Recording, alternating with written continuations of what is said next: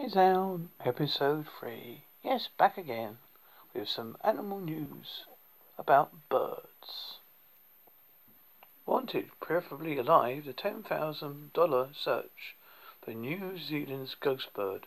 Many believe the South Island kokako to be extinct, but the recovery of its North Island relative has been conservationists hope. This is the American dipper. These birds are known to walk un- underwater, are perfectly fine with ice cold streams. They may have heard of birds swimming underwater, but how about walking? To guard the migratory birds, Philadelphia cuts, plans to cut its artificial lighting that can, pay, that can fatally. Sumner said his tallest buildings, including Comcast Technology Building and BNY Mellon Center, plan to participate.